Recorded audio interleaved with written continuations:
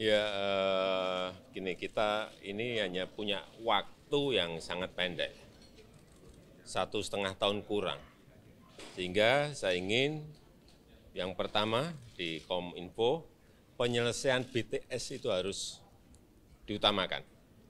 Penyelesaian hukum silahkan berjalan, kita hormati proses hukum, tetapi penyelesaian BTS-nya juga harus tetap berjalan, karena nanti menyangkut pelayanan kepada masyarakat, terutama di daerah-daerah terdepan dan tertinggal. Jangan sampai kita sudah apa itu ada peristiwa hukum, BTS-nya juga terbengkalai. Ini yang saya nggak mau, ini tugas beratnya di situ. Kemudian yang kedua, kecepatan perubahan dunia ini sekarang ini sangat ditentukan oleh ICT. Oleh sebab itu, ini juga kita perkuat dengan wamen agar yang berkaitan dengan eh, kedaulatan data, yang berkaitan dengan artificial intelligence, yang berkaitan dengan frekuensi, yang berkaitan dengan satelit, semuanya bisa segera dirampungkan dan dituntaskan. Dan juga akan kita bantu lagi Mas Wamen, kita bantu lagi dengan Satgas. Memang kita waktunya sangat mepet sekali. Ya, ada Satgasnya juga nanti.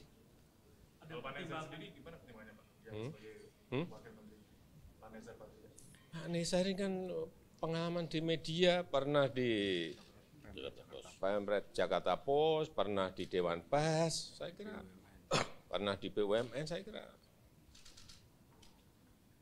akan sangat membantu sekali Pak Menteri Putihari. Pak Jokowi ada, ada pertimbangan Pak kenapa non parpol yang tujuh Pak? Apanya? Ada pertimbangan kenapa tokoh non parpol yang tujuh untuk kominfo? Semuanya dalam tujuan akhir agar segera bekerja cepat. Pak sebelumnya kan diculik Partai Nasdem Pak, bukan tanya apakah ada ratu tidak tidak agar segera bekerja cepat. Hmm? Hmm? Belum, nanti dengan Pak Menteri, dengan Pak Wamen akan kita bicarakan agar, karena ini bukan persoalan mudah. Ya, Pak Menteri Nasdem kan berkurang Pak, ada komunikasi dengan Nasdem ini seperti apa Pak? agar ini selesai dengan kecepatan.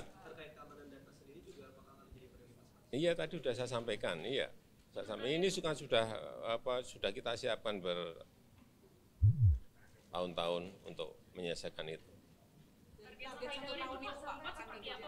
Ya tadi yang saya sampaikan, semuanya bisa dikejar, dipercepat semuanya, sehingga sudah ada wamen pun kita tambah satgas karena itu.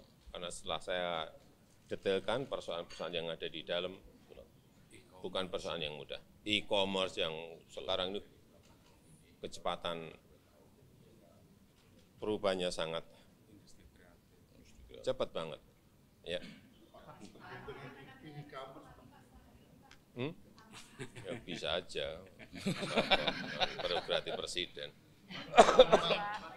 Terima kasih